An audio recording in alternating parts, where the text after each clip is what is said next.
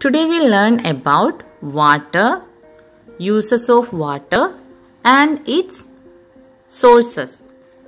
And let's do some worksheet also. We need water to live. Plants and animals also need water to live.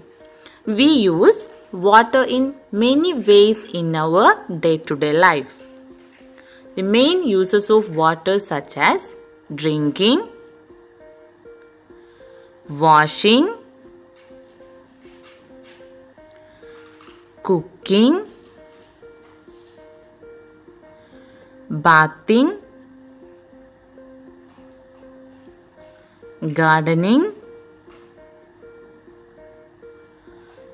brushing our teeth, and cleaning. Next, we will learn about sources of water. The main sources of water. Sea S E A. Sea Rain. R A I N. Rain. Pond. P O N D. Pond. Well W E L L. Well. River. R I V E R. River. Lake. L A K E. Lake.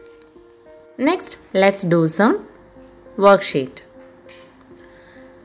First one.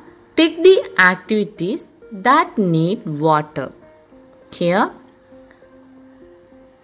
some activities are given. We want to tick the activities that need water. Which are they? Tell me the correct answer.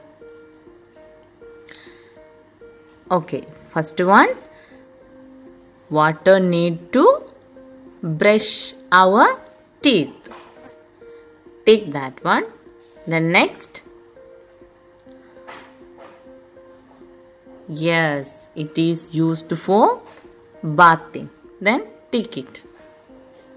Second one identify the sources of water. Identify the sources and write its name in the given place. Then what is the first one? It is yes well. Its spelling w e l l. Well. Then next one. What is that? It is a pond. Spelling p o n d. Pond. Then last one. Rain spelling r a i n. Rain